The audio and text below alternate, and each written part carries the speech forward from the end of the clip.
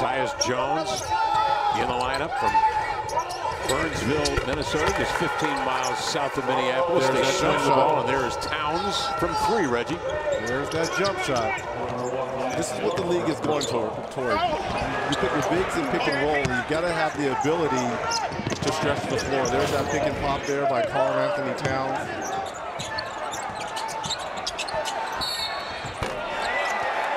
Anthony Towns with the potential and one down low. Now call on Robert Upshaw, recently at the University of Washington. Patience here by Anthony Towns there.